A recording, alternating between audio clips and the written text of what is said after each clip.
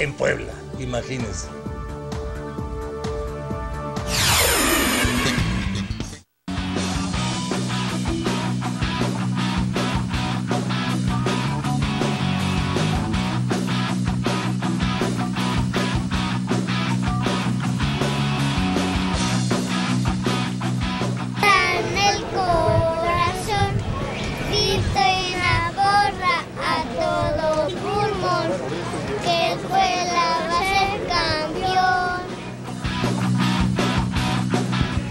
Señores de Fox Gol México, sean bienvenidos hoy al color donde la gente de Puebla se quiere quedar en primera, la gente de Toluca le quiere pegar, ayer sumaron al Veracruz. Acompáñenos en esta bonita carrera por quedarse a, tra- a través de Fox Sports y Fox Gol México.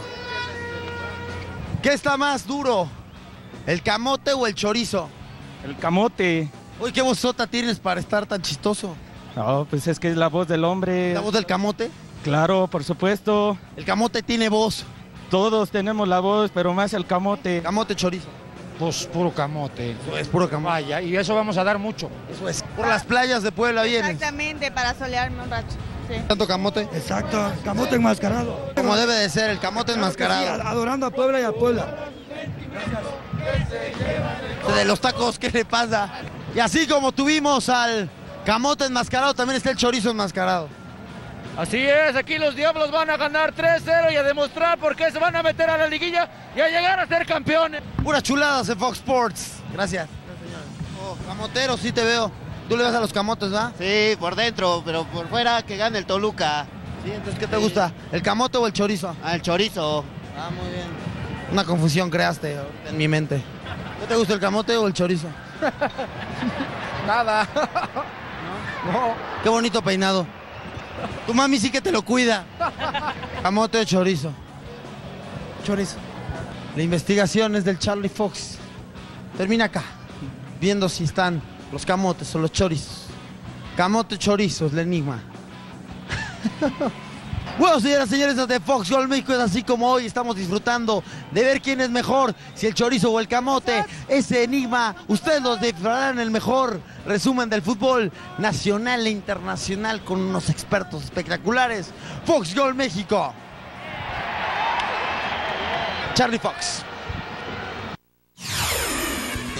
No, sí está bien tocado. Pero qué partido este, qué bárbaro. No, muy emocionante. Realmente aquí vemos cómo el capitán Joaquín Velázquez va adelante del equipo y el equipo poblano, la verdad, muy bien, con muy buen ritmo. Tenía llegadas aquí, ponían apuros a Cristante y el Puebla todo el tiempo estuvo con todo este estadio lleno acompañando a Chelis aquí, que quién iba a saber que era su último partido. Bueno, el Puebla realmente merecía más en este juego. Aquí se encuentra el Toluca con ese orden que le pone Peckerman, una jugada donde tal vez pensaba el portero Villalpando. Que iba a tirar este Israel, se quita y la, se la deja a la Mauri Qué golazo, ¿no? y mete un golazo. Un golazo que era imposible para Villalpando porque si vemos la repetición pasa pegado entre la, en la horquilla donde ya un portero es imposible que llegue.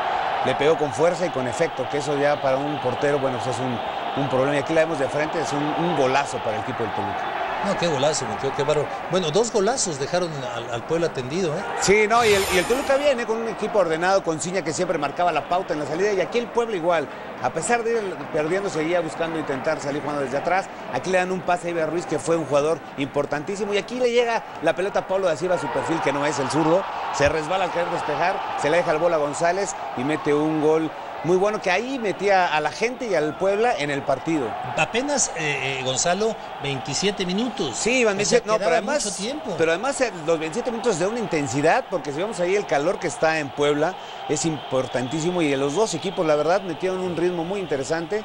Y aquí otra vez Iber Ruiz vuelve a Al tirar a- al travesaño, que fue de los jugadores más importantes para el equipo poblano. Y aquí una jugada en donde casi mete un autogol por no ver el balón, por estar preocupado por la marca. Aquí un jugador del Toluca, que es el número 16, el Amauri otra vez, casi mete un autogol.